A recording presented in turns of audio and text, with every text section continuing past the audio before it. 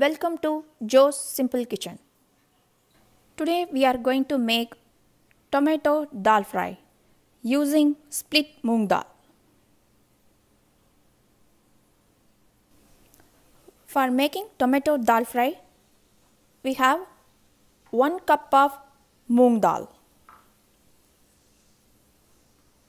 Here we have 5 tomatoes chopped, half a cup of onion, we are using white onions, quarter cup of green peas, cilantro leaves chopped, turmeric powder, cumin seeds, mustard seeds, salt, each half a teaspoon. 2 green chilies, if you like more spicy you can add more. Garlic chopped around 1 teaspoon, curry leaves. Now let's start cooking. Let's set the instant pot to saute mode.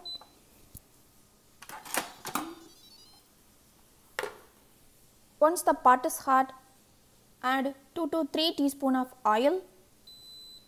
We are using vegetable oil. We can also use canola oil or olive oil. Let's add mustard seeds, cumin seeds, green chili, chopped garlic and curry leaves. Let's saute this for 30 seconds. Then we add onion. Now we add onion.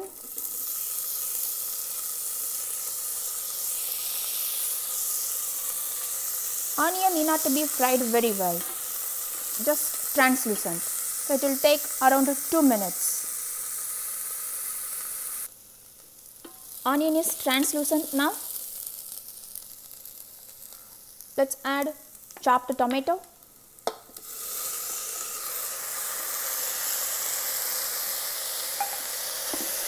Mix it with onion.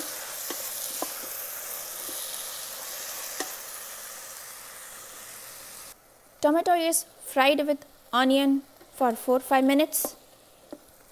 Now we add dal. We washed the dal with water. We add dal.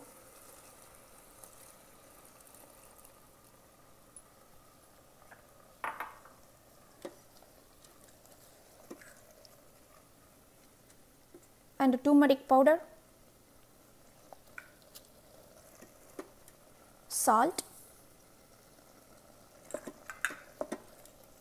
mix turmeric powder and salt with the dal and tomato.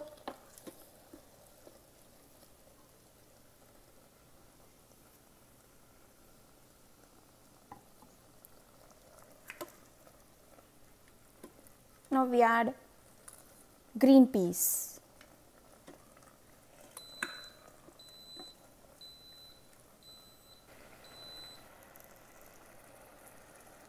we are going to add water.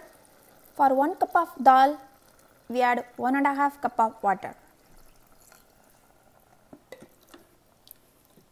Mix well. Now let's add cilantro, half of the cilantro. Let's keep rest for garnish. Now we are going to pressure cook this in instant pot. Make sure you put the seal back on Let's change the mode to pressure cook for 10 minutes. Dal is cooked, the pressure is gone. Let's open the lid. Dal is cooked very well with the tomato and green peas. Now you taste this dal, add more salt if you want to. Now it is ready to be served. Tomato dal fry cooked in instant pot. This goes very well with zira rice and coconut rice. You can find those recipes in our channel. Thanks for watching. If you liked this video and found it useful, please subscribe to get instant notifications.